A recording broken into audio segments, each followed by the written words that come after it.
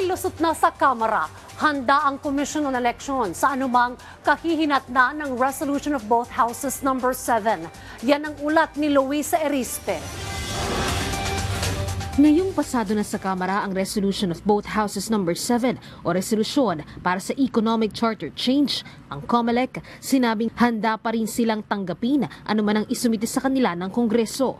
Ayon kay Chairman George Erwin Garcia, sakaling ang isumite sa kanila ay resolusyon lang ng Kamara at wala pa ang Senado. Wala silang magagawa dahil mandato nilang tanggapin ang pinagtibay na resolusyon ng Kamara. mas lalo po siguro magagalit ang lahat kung hindi namin gagawin ang tungkulin namin. So, again, I do not want to preempt the action of the, the Commission and Bank, but what I can guarantee to the Filipino people is that we will decide rightly based on law and based on what should really be done in accordance with, with uh, the Constitution. Pero sabi naman ng COMELEC, alam naman nila na ang totoong issue sa pagsusumiti ng resolusyon ay pwede na ba kahit wala ang boto ng Senado para sa Chacha. Lalo na't umabot sa 288 ang affirmative votes, sobra sa 232 votes na kailangan para makapasa sa Kamara ang resolusyon at sapat naman para tapatan ang boto na kailangan mula sa Senado.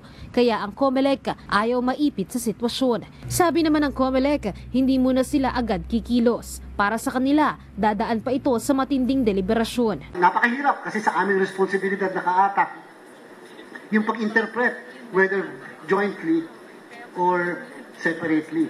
Bibigyan natin ng sapat na panahon ang bawat miyembro ng Commission and Bank na pag-aralan yung mismong nasa atin. Siguro walang masama kung ipapahiring natin yung bagay na yan. Dagdag naman ng COMELEC, sa oras na makatanggap sila ng resolusyon, naniniwala silang may maghahain pa rin naman ng petisyon para questionin ito sa Korte Suprema. Kaya ibinabato na nila ang bola sa pinakamataas na hukuman para magdesisyon kung pagsisimulan ba ng plebisito ang resolusyon na mula lang sa isang panig ng Kongreso. Handa rin ng COMELEC kung sakaling ito ang magiging kauna-unahang kaso sa Korte hinggil sa plebisito para sa charter change. Sa ngayon, wala pang natatanggap ang COMELEC na resolusyon mula sa Kamara.